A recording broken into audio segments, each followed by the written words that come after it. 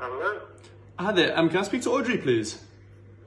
Who's that calling? It's uh, Keaton Jennings from Lancashire County Cricket Club. Well, I can answer on her behalf. Yes, we were, we were talking about the, um, asking you about uh, games and matches and what's, what's going to happen. All right. Yeah. Yeah. Perfect. Yeah.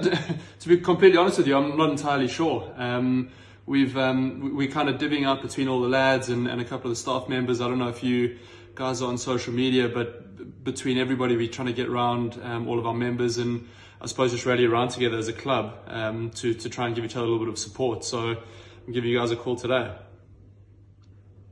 It's gonna, you're to have a problem, problematical time, aren't you? Yeah. Yeah. Massively. Yeah. Anything.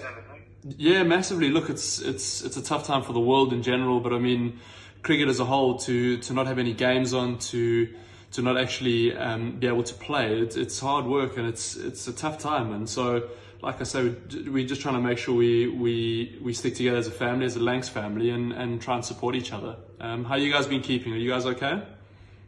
Oh, We're, we're okay. It's just that uh, we, we've been in lockdown for two weeks.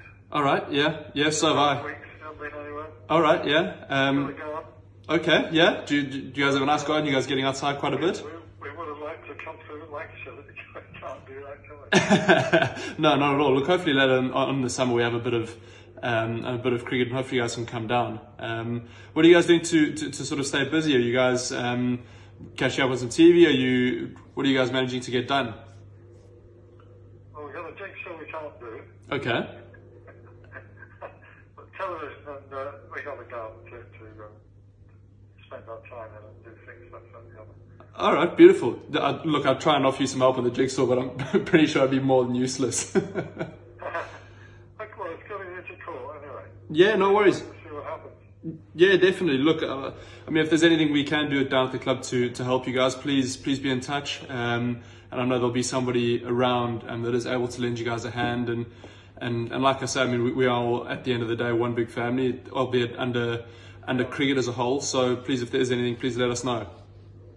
Because, um, as the wife said, she, she's 85 and got laryngitis, so she can't speak to you. Oh no, man, Shane, that's that's that's only hor- 82, so uh, Oh, geez, that's that's horrible to hear, man. But yeah, look, like I say, if there's anything we can do to help, please, please let us know. Um, we'll do it. Um, um, I've heard uh, Audrey's been been a member for, for quite a while.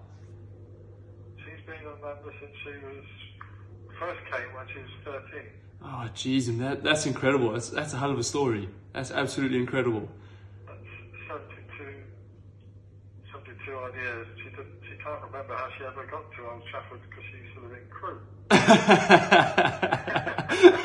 to, to be fair, So long ago, she can't remember. I was going to say it's a long time ago. If you can remember, that's a hell of a hell of an achievement. Some with her brother who was about, she was about 10. oh, that's Okay. a Well, Thanks for calling. absolute pleasure. I hope you guys have a safe day and try and get outside in, in, in the little bit of sun we have today. Okay, many thanks. Bye. Cheers, guys. Stay well. Bye. Bye.